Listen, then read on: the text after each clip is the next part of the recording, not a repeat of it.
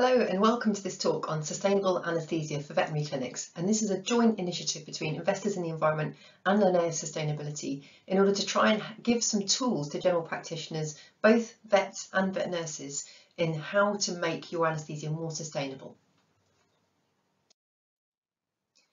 What we're going to cover today is a little bit about understanding the environmental impacts of veterinary anaesthesia. And as a specialist veterinary anaesthetist who still practices in the clinic, as well as the environmental sustainability lead for Linnaeus, I know how hard it is to translate what you're going to learn today into the clinic. So we're going to be talking also about some practical steps to reduce the climate impacts of your anaesthesia practice. I do need to add a disclaimer, and that is that any alterations that you make to your anaesthetic protocols, uh, including the drugs, are really the responsibility of the veterinary surgeon uh, working within their competency. And the guidance that we're going to be talking about today don't replace that individual veterinary surgeon's responsibility for that clinical decision making. So please do contact a specialist anaesthetist individually if you're unsure about changing your anaesthetic protocols or indeed anything that we mention in the talk here today. Now, a little housekeeping job for you, if you don't mind.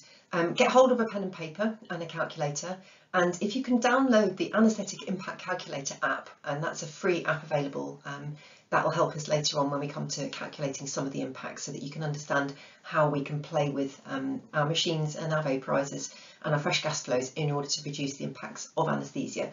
And there's a QR code there for you to access it as well. There's a lot of talk about carbon and it isn't just about carbon when we're talking about environmental impacts, but carbon accounting is more easily achieved than some of the other key environmental impacts. And as long as we bear those other impacts in mind, when we address our carbon impacts, we often also address other impacts. And I hope I'll explain why as we go through. So the three areas I, I think about are global heating, and that's in terms of causing the climate crisis, biodiversity loss and resource scarcity. And I've given some examples here of how our general veterinary clinic can impact on those three key areas. And then obviously you can start to understand how anaesthetic practice might um, impact on those areas. The planetary boundaries model uh, on the picture on the right hand side gives us safe zones for humanity to operate safely within. And these are nine key geophysical processes that happen within Earth's ecosystems that define this safe space for, for humanity. And you can see that we've exceeded that green safe operating space within six of the key uh, planetary boundaries um, areas. And those are for biosphere integrity or biodiversity, climate change, novel entities, which is for microplastics and chemicals, uh, biogeochemical flows for nitrogen and phosphate cycles, and also how we're using our land systems. Whilst all of these ecosystems are interlinked, um, we know that climate change and biodiversity are really the linchpins for influencing the other boundaries. If you start to understand healthcare impacts and start to read the literature, you'll, you'll start to understand this difference between what we directly control and what we influence. And in the carbon accounting world, that's split into three scopes, scope one, two, and three. And scope one is really what you're directly controlling. Um, so it would be things like your travel, your energy use, um, the anaesthetic gases that you're using. And those are emissions that are directly coming from the site operations. They might also be called operational. Scope two is electricity, and that is um, an indirect scope because the electricity is generated elsewhere and the emissions are generated elsewhere, but you are using the electricity on site. So scope one and two are classically your operating emissions. Scope three would be things that you're indirectly responsible for. So that's your procurement um, and your pharmaceutical use. The next obvious question to ask is which of these scopes matters the most? Is it the things under our direct control is, or is it the things under our indirect control? And you can see here from the NHS England's carbon footprint that actually the scope 3 footprint, which is in the procurement, in the supply chain, in the resources which we, we buy in, uh, there's a far greater part of our carbon footprint. Uh, but there still are those things which are uh, within our direct control and that would be represented in the green area here for the scope 1 um, and electricity scope 2. Now some of these impacts you'll notice are healthcare specific impacts, things like the anaesthetic gases, and some are not healthcare specific. So if we look at the UK's uh, carbon footprint, we start to see that in terms of the UK sectors, the transport and the energy supply sector are two huge um, impacts of area. Um, and in terms of our anaesthetic practice, we can imagine that it, these two areas are going to also form a large part of our carbon footprint. So we need to start looking at some of these non-healthcare specific impacts. And with regard to anaesthesia, obviously you are uh, your staff are providing anaesthesia, and you need to think about how they're getting into the clinic. Um, we've also got the transport of the pets into the clinic, um, and even transport of um, of goods and services to the clinic as well. In terms of energy, you can start to think about, well, how can we reduce our energy use? And one very successful campaign we've had across Linnaeus is to use the pause to turn off stickers as a behavioural nudge um, to encourage people to turn off high consumption things like um, anaesthetic gas scavenging systems or lights or computers or air conditioning. So those two areas I just mentioned now because they are an important part of the anaesthetic practice carbon footprint, although they're not healthcare specific. I just wanted to touch on what's in scope three for anaesthesia. So in terms of the high um, impact areas for uh, our supply chain within the um, anaesthesia surface, there are two key areas I think, and that is within consumables um, and equipment, so what we're, what we're buying in, but also the pharmaceuticals. Um, and one area I wanted to highlight was oral versus injectables. So we know um, from some medical data that uh, a one gram intravenous dose of paracetamol produces 10 times more carbon emissions than the same oral dose. And obviously you also have the energy for delivery and the plastics in the um, delivery system if you're giving an intravenous uh, dose. Um, we also know that the carbon footprint of anaesthetic drugs can vary widely depending mainly on how many steps there are in the manufacturing process. So propofol, for instance, is around about 20 kilograms of CO2 emissions per kilogram of active drug, compared with dexmedetomidine being around 3,000 kilograms of CO2 per active um, uh, kilogram of drug. In terms of finding environmentally positive veterinary systems, we can also recognise that pet ownership has a positive impact on improving human health and therefore reducing carbon emissions elsewhere in the owner's um, life cycle. And for dog owners, there's a 24% reduction in all-cause risk of death, Although obviously to protect animal welfare and acknowledge that not all humans enjoy the company of animals, um, it's not going to be an appropriate um, step for everybody to take. So I think there will be a need to move towards preventative care focusing in sustainable healthcare. So we move away from this high resource consumption, high emission area, such as an operating theatre, and towards the idea of well-being and green prescriptions. In terms of consumables, I wanted to touch on reuse versus single use. And again, there's a lot of anaesthetic equipment which is becoming available, which is reusable. Um, and um, there is still, I think, a plastic addiction um, within the healthcare sector. And the conflict really is in infection control um, versus sustainability. And we do need more data on this um, in this area. But the fallback has often been of dispose of if in doubt. Uh, and medical groups often encourage the use of single-use equipment to prevent infection spread. But, but that may not be, always be necessary, nor may it be based on, on data in, in every situation. So in terms of the cons, it's just to be aware that if you do get an infection, that obviously carries quite a large carbon cost. So we do need to maintain infection control as an important quality process. Um, and if you're reusing fabrics, actually, um, the risk of infection may depend on the age or the permeability of that fabric. So you need to make sure you're using appropriate reusables um, and for appropriate cases. Um, the other thing to bear in mind is that many devices uh, are labelled as single use, so that if you reuse them and the device fails, uh, or you get an infection as a result of uh, poor sterilisation in reuse, that liability rests with the person that's reused it and not with the manufacturer. And so that's something we need to work with the manufacturers for. But obviously the pros, if you're reusing equipment pretty much um, across every uh, life cycle impact that you can think of, from carbon to resource use to water use um, to uh, aquatoxicity, you're going to get less of a footprint on reusable equipment and textiles than on um, single-use devices. And if you are using single-use de uh, devices, there's less resiliency against disruptions in your supply chain, and which we certainly saw during COVID. I think the last point I would say is that often when you're using plastic or using um, plastic gloves to protect a surface or to protect your, your body, there's a false sense of security and it actually reduces the, the hand hygiene and potentially even increases infection risk due to dermatitis um, for wearing gloves. So it's worth bearing in mind using your plastics appropriately uh, when they're really needed and not using them when they're not needed. I just threw this slide in here to suggest that there are some things that you can start reusing straight away. Um, there was a study uh, that suggested that the carbon emissions from a laparoscopic hysterectomy can be reduced by 80%. Um, and 50% of those savings come from minimising and reusing surgical equipment. So the idea of reuse, rather than trying to look at better ways of end disposal, is probably more um, better impact, higher impact.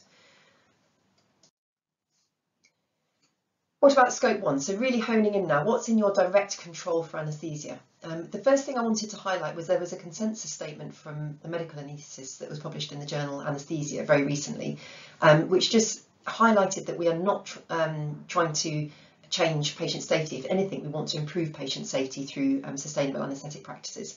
Um, but it is an onus and a responsibility on us to find these more sustainable systems for providing anaesthesia.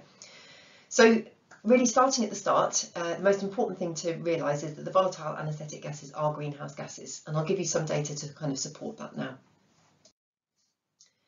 So if you were to take a bottle of isoflurane, I don't recommend that you do this, and you were to smash it on the ground and let all of the vapour release into the air, you would get a similar um, greenhouse gas impact as if you drove from John O'Groats to Plymouth in an average UK car. And all modern inhalational anaesthetics uh, act as greenhouse gases. Now for NHS England, the anaesthetic gases contribute about 2% of the full value uh, carbon footprint, so including all of the scopes. And that's a similar proportion to the full value chain footprint that we're finding within Linnaeus as a whole, um, bearing in mind that we predominantly have small animal practices. Uh, for the operational carbon footprint, the anaesthetic gases may be a far higher proportion. So what's in our direct control? And that's typically around about 30% of your carbon footprint um, in, in many of our clinics. So if you think about the other aspects like um, travel and energy that we know are very important, that we have sustainable solutions for, um, and, and, we can start to put those into place, you can see that suddenly the anaesthetic gases will become more significant um, as we decarbonise elsewhere in our clinics. Now you might say, well, 2% is not a large percent. So although they present a very um, a relatively low contribution to the, the global carbon emissions, we need to control these drugs because they're disproportionately effective as greenhouse gases. And the reason is they absorb radiation from the sun in this window where there isn't a natural um, absorption of heat. So it's basically like an atmospheric cooling window. And because it plugs that cooling window, it's disproportionately effective as a greenhouse gas. And there was one study that suggested that the anaesthetic agents are responsible for 10 to 15% of all uh, human um, sourced radiative forcing of the climate since the industrial era. So it is something which is going to become um, more important as uh, decarbonisation happens elsewhere.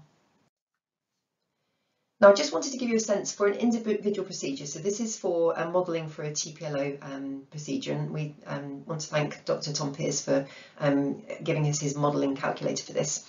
And we're assuming that we're delivering um, oxygen at 2 litres a minute uh, and isoflurane at 2%. And we've got a three-hour procedure and we've also accounted for the um, commuting of a surgeon and of a nurse um, to that to that theatre for the day, and some waste disposal of the plastics and um, and the other waste materials. So we try to account for um, the impacts that you're going to find that are going to be major impacts. And you can see that the anaesthetic gases are going to be a large proportion, around about three quarters of that carbon footprint. And the whole procedure is around about 150 miles in, and again, a medium average UK car. So that's just to give you a sort of sense of, of how this anaesthetic footprint sits within the picture of um, your other choices. So what options have we got for anaesthesia? And these, again, I'm just really honing down on those options which are available um, and practical for us uh, as clinicians um, in our day-to-day -day practice. So the options as I see them um, are to eliminate nitrous oxide, to move towards lower flow anaesthesia, and I'm going to go through all these options separately, to switch to lower carbon choices and in the future um, it's likely to be possible to recapture volatile agents. So let's go through those options. So you can eliminate nitrous oxide. Now, if you are using nitrous oxide in your clinic, many clinics will find that that will account for um, up to 30, 40% of your uh, total clinic operational emissions. It's such a potent greenhouse gas, and it's also an ozone depleting agent. Um, and because of the other health and safety implications and the fact that it's not actually that um, potent as an anaesthetic agent, uh, we decided across the Linnaeus to remove it entirely um, from our practices. And so we um, ran our No Need for Nitrous campaign. We linked our specialist anaesthetists with our primary care teams, and we took it out across the group in a phased, um, uh, supported way.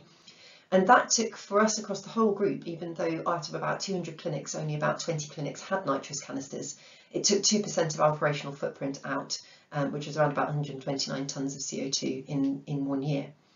So taking nitrous oxide out is, I think, a very important first step because it's likely to be the very uh, high impact, and that's certainly what the NHS is focusing on, is, is taking nitrous out where, where they can and reducing it in, in situations like labour wards.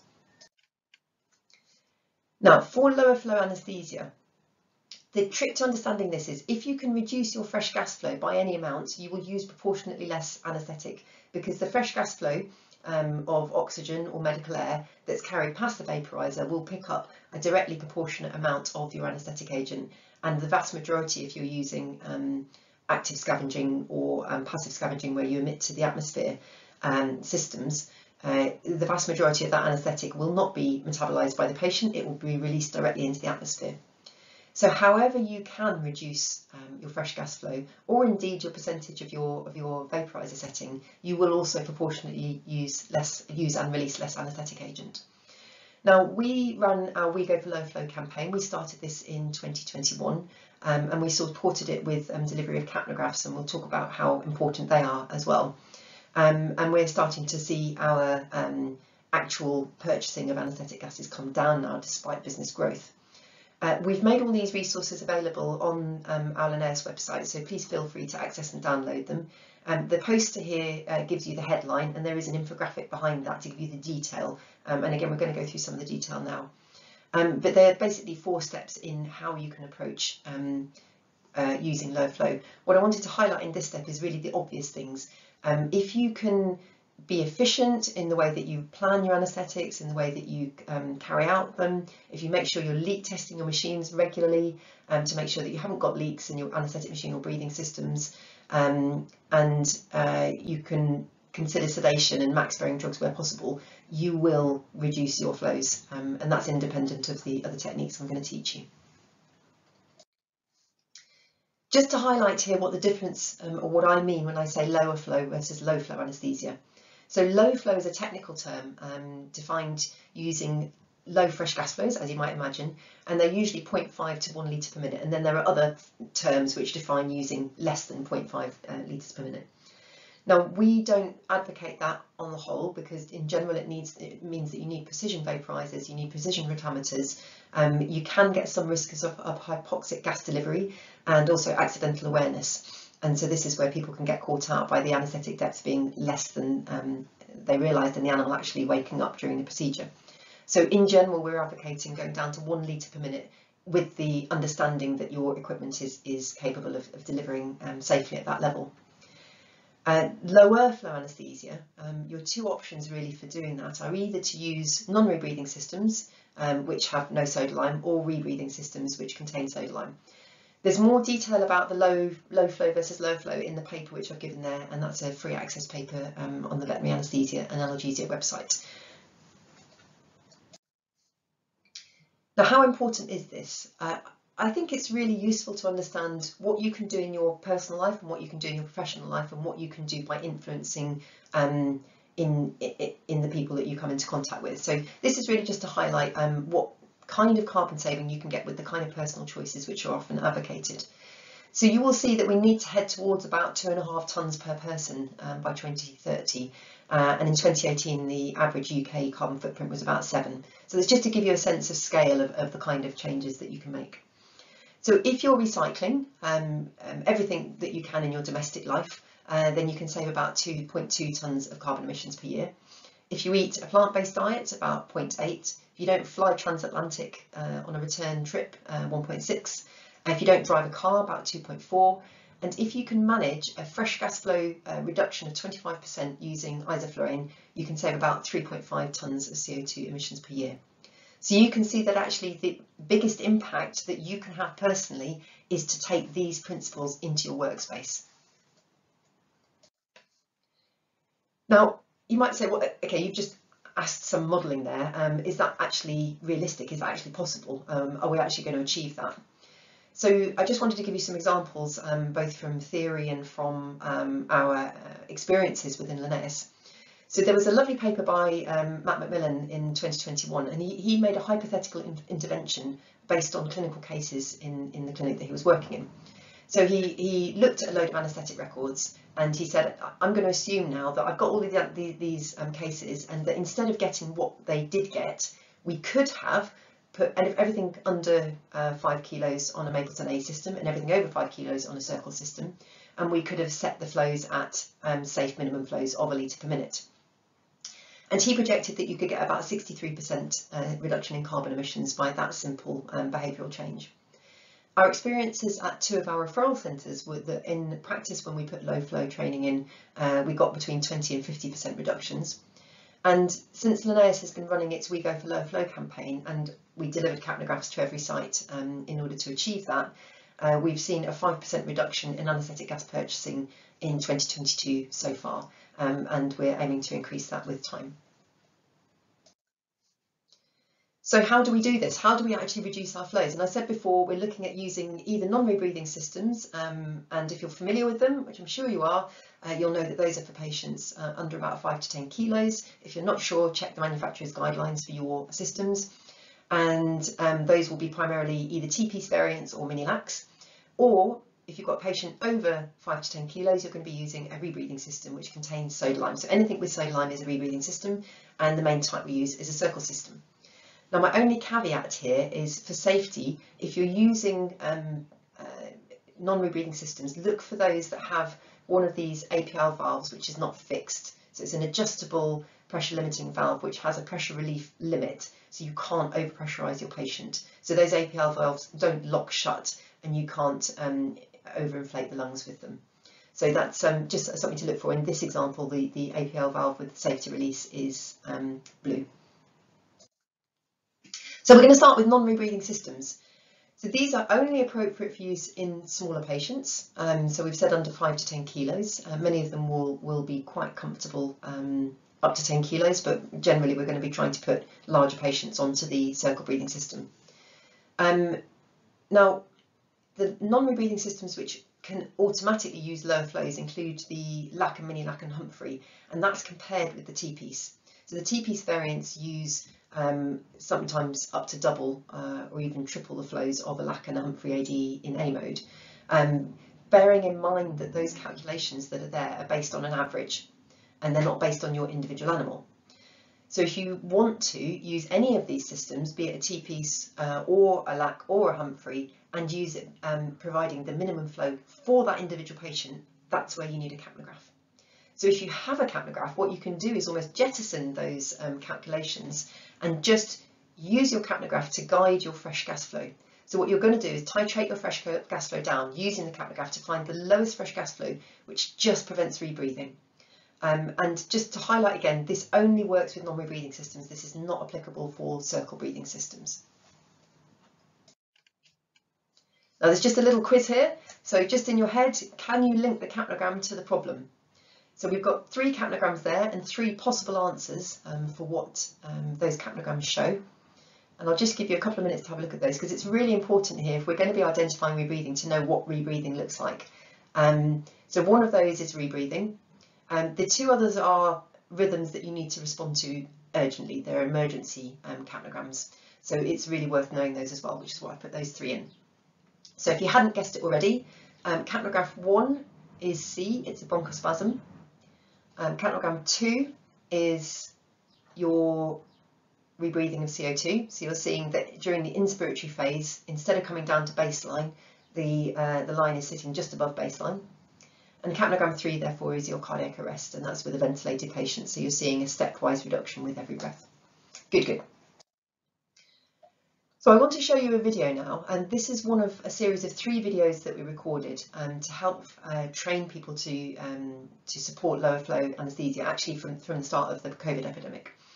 So this one is about using your capnogram to guide your fresh gas flow when you're using a non-rebreathing system.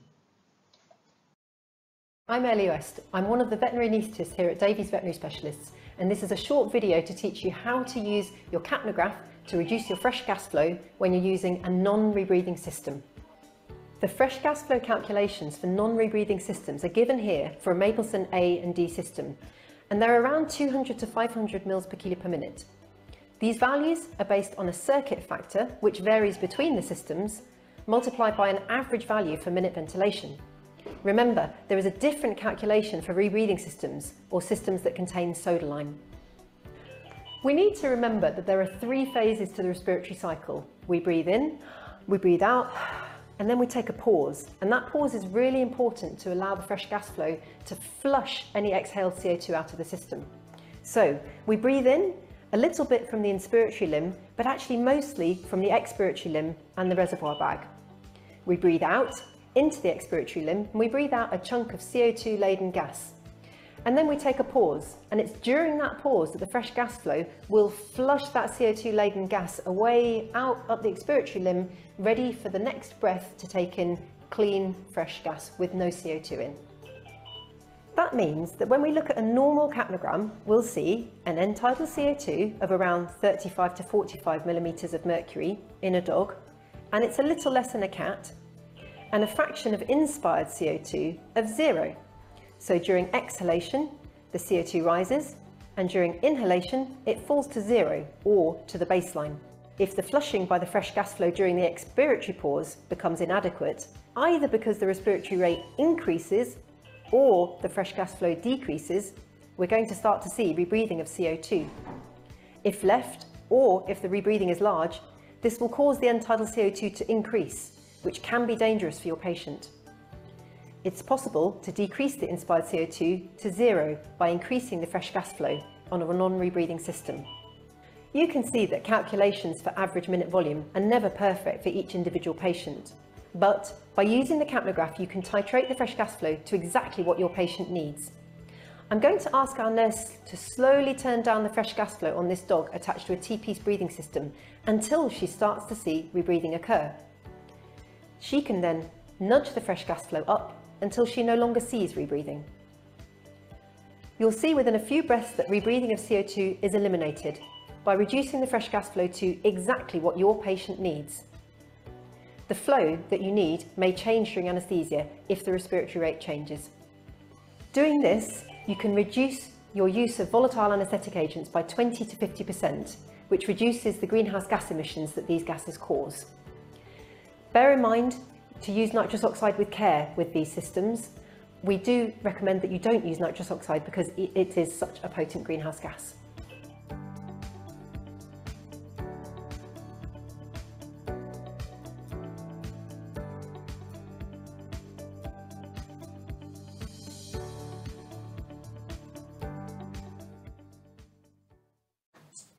Moving into talking about circle breathing systems. And you'll notice that one of the three videos we um, we recorded are, is a short introduction to circles as well. And there's also a lot more detail on circle breathing systems in the Linnaeus resources um, in the infographic and also a, a top-line guide in the poster. So we're talking about systems that contain soda lime or CO2 absorbent. And we're talking about reducing your fresh gas flow to a safe minimum. We're not talking about taking it down to the absolute um, lowest possible uh, fresh gas flow. So we're looking at making it safe for your equipment, for your patient and your circumstances. So I'm assuming that you're comfortable using a circle breathing system um, and that you've got a system that can uh, work down to about a 5 to 10 kilo weight of the patient. That you must have spare an intravenous anaesthetic and an IV catheter so that if you have accidental awareness, you have a quick response system. That your machines and vaporizers are capable of delivering one litre per minute of fresh gas flow. Um, and if you have fraction of inspired O2 and end tidal agent monitoring, particularly if you're trying to use lower flows than one litre per minute. Um, that's really recommended. But uh, like I say, that's why we're suggesting that you start trying to get down to one litre per minute and no less um, with the majority of the systems that are available in the UK. And if you have any questions about any of that, then please um, do get in touch.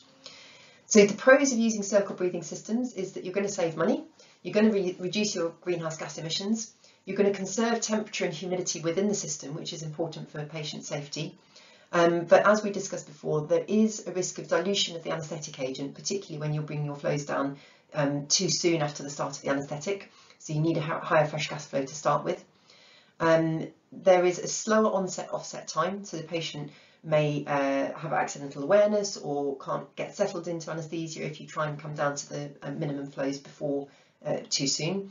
Um, so you need a higher fresh gas flow when you're changing the depth of anaesthesia, be that at the start, at the end or in the middle of the procedure. Um, and in theory, you can deliver hypoxic mixes um, if you're using low flows for prolonged periods or if you're using nitrous oxide. So again, that's why we're stopping at one litre per minute.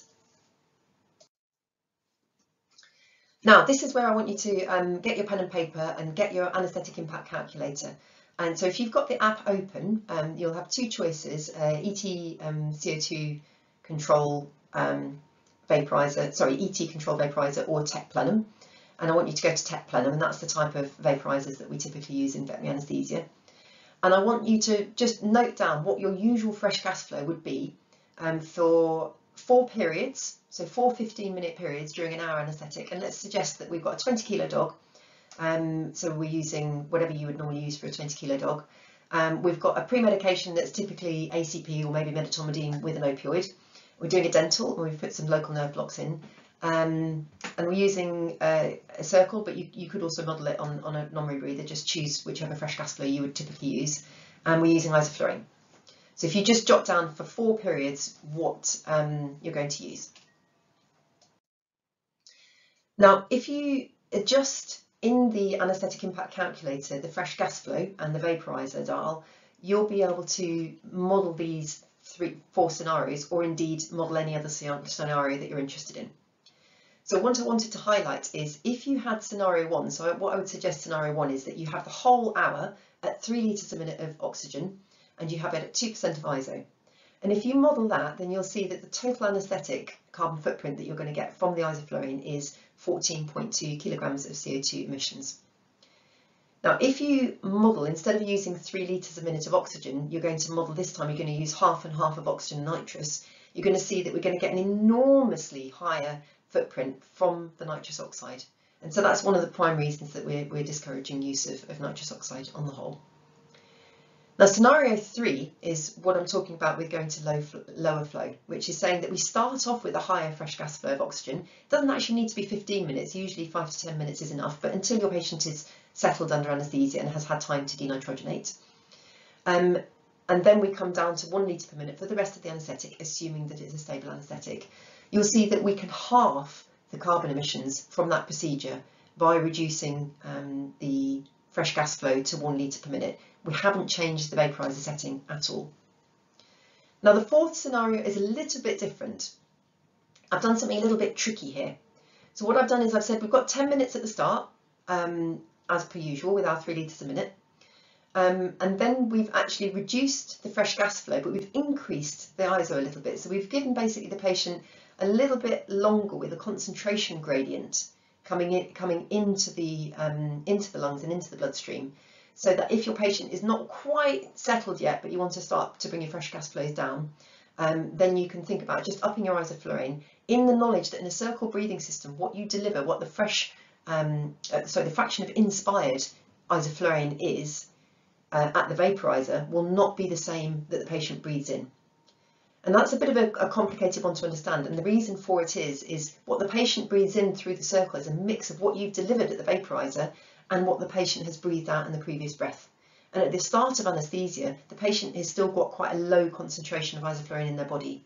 So that's going to dilute the isoflurane that's, um, that's available um, for the patient to breathe in. So that's why for just, just a short period, you can just up your vaporizer a little bit and just keep that concentration gradient so the patient settles under anaesthesia. And obviously all of this has to be judged clinically based on the depth of anaesthesia. There's no other way to do it than looking, observing, getting your hands on your patient. And then I've modelled at the end there, we've got our patient settled and we've actually managed to reduce our isoflurane to 1.5% there. And you can see we can get a further saving in our carbon footprint by doing that.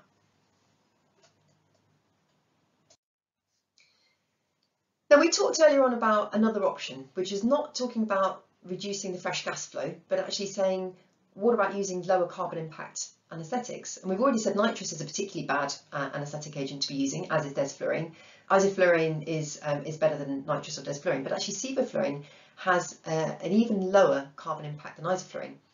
And despite it, its lower potency, so you need more of sevoflurane because its MAC is higher, so it's, it's a less potent drug. Um, it actually has a lower carbon impact. It's less of a greenhouse gas than isoflurane.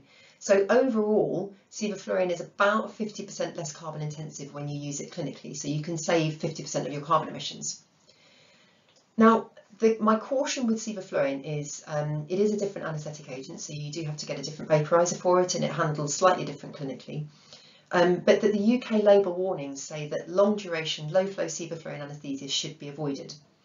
And that's based to a, a, theoretical concern about nephrotoxic compound A production in the presence of sevo plus soda lime.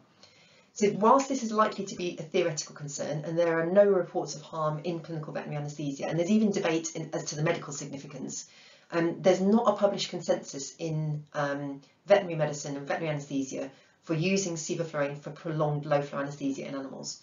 And the recommendations that the US data sheets make for people are that you shouldn't expose um, uh, patients to more than two MAC hours. Um, so you're talking about um, keeping a patient at MAC, 2.3% of sevo, for no more than two hours, or double MAC for no more than one hour. And that they don't recommend going down to fresh gas flows less than one litre per minute. So I think that there's the jury's still out on that as to what the consensus will be across the UK in the long run, but um, but it's an important thing to highlight if you're um, thinking about using sevoflurane for long long procedures at lower flows. But perhaps logistically, the bigger issue at the minute is it's far more expensive in the veterinary market at the moment, um, although in the future I would hope that that price will come down. So just to model that again, um, and I've used um, the same uh, modelling for scenario one, and uh, again, just to highlight that these fresh gas flows and percentages may not be appropriate for every case, but I'm just picking a typical um, case here.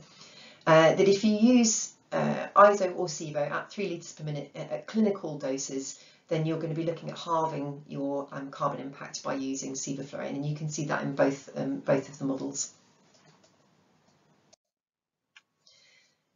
So the obvious next question is, what about reducing the vaporizer percentage? So we talked about the fresh gas flow, but what about the vaporizer? And there are um, a number of ways that you can do that. And there's lots of resources around uh, TIVA, PIVA, regional blocks, um, systemic analgesia or sedatives in order to smooth your anaesthetic out so that you're not having to have those increases in fresh gas flow during your anaesthetic. Um, and so I refer you really to the BSAVA manuals and, and other training courses for for those techniques. But again, it may well be worth investigating those if you think that you can tweak your, your regimens. But TIVA I just want to touch on because there were um, data that came out uh, in, in um, 2012 about the carbon impacts of various anaesthetic choices. And you can see from this gra gra graph where um, they've compared desflurane, isoflurane, sevoflurane and propofol, and the red is uh, nitrous. So they've used um, protocols where nitrous has been involved that it's very clear uh, that using nitrous, using desflurane, um, and in this model, sevoflurane would have been um, half this impact uh, shown in the graph, except for they used it at two litres per minute because of the compound A risk. Um, so you would see that, that actually propofol on this, it is actually on the graph, it's just really, really teeny. And they modelled that propofol anaesthesia produces four orders of magnitude less carbon emissions than um, the high, heaviest impact volatile procedure. So that makes you immediately think, well, crikey, TIVA is the way to go if you're just looking at carbon emissions. But then very recently another paper has come out um, and this is a, a, little, little, less easy to understand but basically the upshot is that the sevo UKB option is very similar to the propofol option in terms of carbon emission. And the way this was modelled was that they were using sevoflurane anaesthesia, they were using a fresh gas flow at 0.5 litres per minute, they weren't using nitrous oxide, um, they were using low carbon manufacturing techniques, um, but they were also recapturing the sevoflurane. So it's, um, it suggested that we can actually capture in a charcoal-like cylinder uh, about 70% of the anaesthetic that's exhaled by a patient, distill that, put it back in a bottle, sterilise it and send it back out for reuse. And, and that recapture technology is one way that volatiles could become very similar in carbon impact to uh, propofol anaesthesia. So I think in the future that might be available. It's not commercially available yet, um, but they are starting to recapture sevoflurane for this purpose in medical trusts in the UK. But we're talking about carbon there, and as we started saying at the beginning, carbon is not the only thing. Um, and the things that we don't know and the things that maybe we need to be a bit cautious about with TIVA, um, I want to just mention on this slide. So we know that propofol and alfaxalone carry UK licences for maintaining anaesthesia in dogs and cats, but the dose and duration at the moment are limited depending on the manufacturer and product. Um, so we don't uh, exactly have a comparable uh, TIVA protocol that will provide the longevity of anaesthesia um, in a licensed way that, that we have for volatiles at the moment. So the other issue that we have is that TIVA is a very different feel of anaesthetic and you do need um, precision equipment that isn't uh, available on the um, veterinary market at the moment. So I'm talking about target controlled infusion pumps for Propofol TIVA. Um, you need a different training. It definitely is not something to jump into with both feet. Um, but perhaps more concerningly, in the uncertain section of McGain's paper, they talk about TIVA's other environmental impacts. So when we take drugs into our body, um, with the exception of the volatiles that aren't really metabolized, most of the injectables that we um, take in uh, are metabolized and then excreted either usually during, through the urinary or the, or the fecal system. And most of our waterways are not designed to filter out these pharmaceuticals. So if those metabolites are active, uh, or indeed if some of the active drug is unmetabolized and excreted, then they do have environmental impacts. And we don't really understand what the um, quantifiable impact of those drugs is in our waterways and um, aquatic ecosystems at the moment. So that's just a caveat to bear in mind. Um, at the moment, the impact probably isn't huge because we don't use a lot of TIVA or injectables. Um, so th that's just something to, to bear in mind for the future.